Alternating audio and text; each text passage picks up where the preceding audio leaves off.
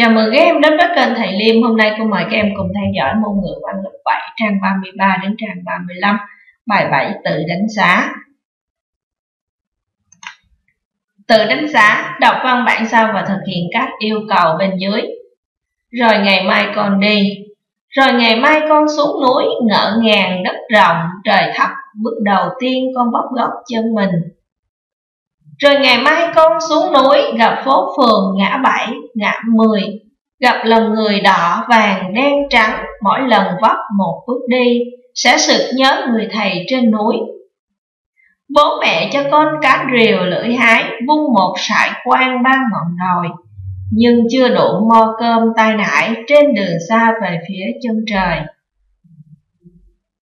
Người thầy ngồi lặng lẽ sương khuya, áo cổ lông không ngăn được rét rừng như chích. Châm giáo án như vuông từng đốm than tí tách thắp lửa hồng ấm mãi tim con. Ngọn lửa ấy là món cơm khi đói là chiếc gậy con vịnh đường mưa là ngón tay gõ vào chốt cửa phía sau kia rộng mở nụ cười. Ngày mai con xuống núi cùng tay nại hành trang đầu tiên đi như suối chạy về với biển chớ quên mặt đá cội nguồn. Lò cao nhâm góc trời nhà xuất bản hội nhà văn Hà Nội 2009 như vậy các em vừa đọc qua bài thơ Ngày mai con xuống núi. Rồi tiếp theo thì chúng ta sẽ à, làm theo những cái yêu cầu dưới đây.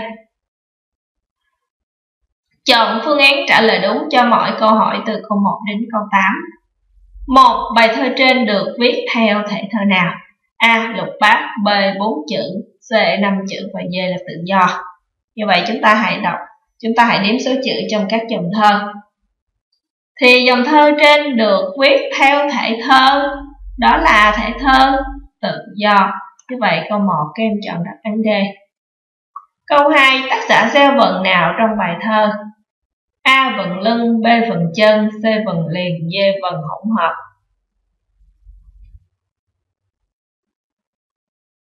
Như vậy thì trong bài thơ tác giả gieo vần, gieo vần hỗn hợp. Như vậy câu 2 chọn D. 3. Tác giả sử dụng biện pháp tu từ nào qua cụm từ con xuống núi? A. Ẩn dụ B. Hoán dụ C. So sánh và D là nói quá.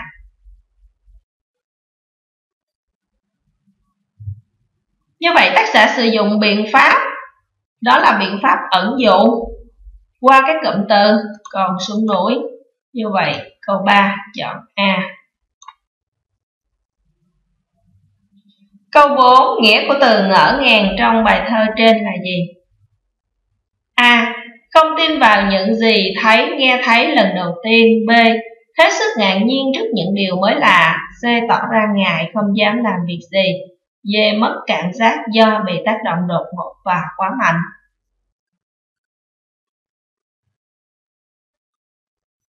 như vậy các em hãy đọc kỹ à, văn bản thì chúng ta thấy cái từ nghĩa của từ ngỡ ngàng trong bài thơ trên là ngạc nhiên trước những cái điều mới lạ do vậy câu 4 chọn chọn B Câu 5 Theo tác giả khi con núi xuống núi Mỗi lần vấp con sẽ nhớ đến ai A. Người bố, B. Người mẹ, C. Người thầy và D là mọi người Như vậy các em đọc kỹ văn bản thì chúng ta thấy, theo tác giả, khi con xuống núi mỗi lần vấp ngã thì con sẽ nhớ đến đến người thầy như vậy. Câu 5 chọn C. Câu 6 Theo tác giả, đâu là hành trang quan trọng nhất đối với người con khi xuống núi? A. Cán rìu lưỡi hái do bố mẹ cho B. Mo cơm tai nải và bố mẹ chuẩn bị C. Ngọn lửa hồng trong tim con do thầy giáo thắp lên D. Chiếc gậy tai nải của người con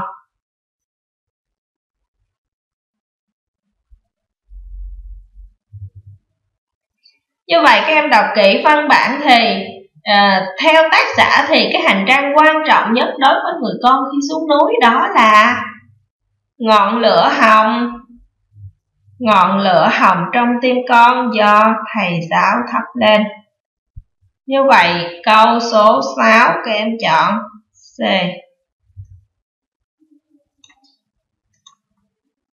Câu 7. Phương án nào dưới đây liệt kê đúng và đầy đủ các biện pháp tu từ được ẩn dụ trong khổ thơ thứ năm? A. So sánh liệt kê ẩn dụ điệp ngữ B. So sánh tương phản ẩn dụ điệp ngữ C. Liệt kê điệp ngữ ẩn dụ nhân hóa D. Ẩn dụ hoán dụ nhân hóa so sánh Thì các em đọc kỹ văn bản Các em đọc kỹ lại đoạn thơ Trong đọc, đọc kỹ lại khổ thơ thứ năm Thì các biện pháp tu từ được sử dụng trong khổ thơ thứ năm đó là So sánh, liệt kê, ẩn dụ và và đẹp ngữ như vậy các em sẽ chọn đó là A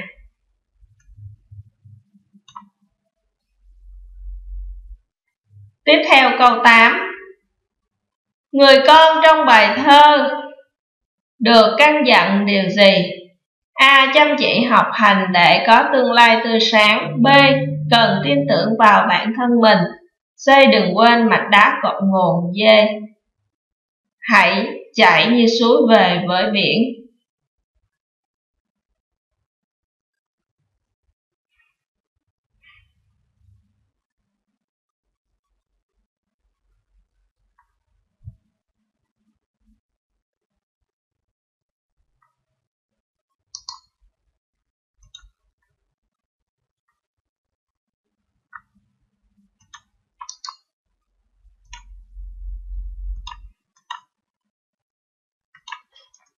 Như vậy người con trong bài thơ được căn dặn là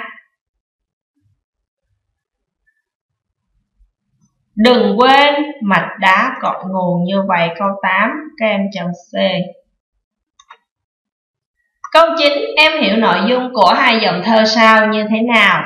Đi như suối, chạy về với biển, chớ quên mạch đá cội nguồn. Thì nội dung của hai dòng thơ này là lời lời dặn dò của thế hệ trước đối với thế hệ sau. Rằng dù có đi đâu về đâu thì cũng không được quên gốc gác cội nguồn nơi mình đã sinh ra và lớn lên. Có những người đã hy, đã sinh thành và dưỡng dục ta ta nên người.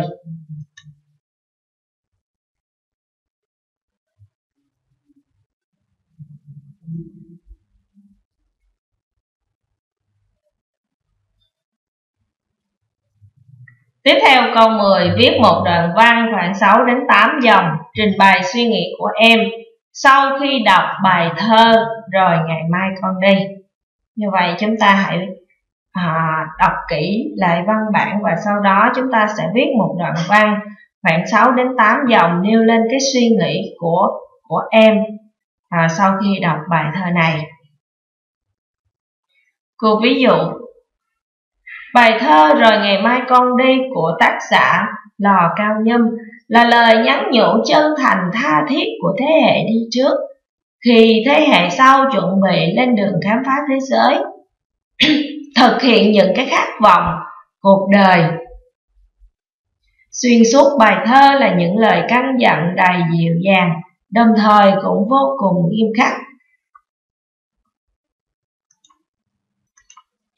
Rằng khi ra, đi ra thế giới rộng lớn ngoài kia, rồi con sẽ thấy đất khác, trời khác, sẽ gặp những người khác nhau, đỏ vàng, đen trắng, khó mà phân biệt nổi.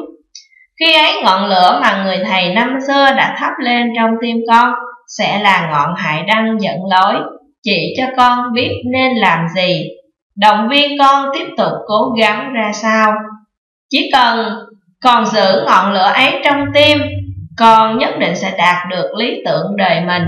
Cuối cùng dù có đi đâu về đâu, cách xa nơi mình sống vạn dặm đường, thì con nhất quyết không được quên đi mạch đá cội nguồn, quên đi gốc gác nơi mình đã sinh ra và lớn lên.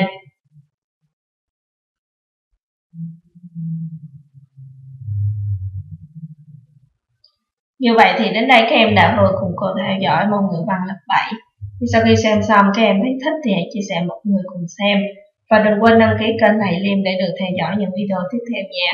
Cô chúc em học tốt. Cô chào tạm biệt các em.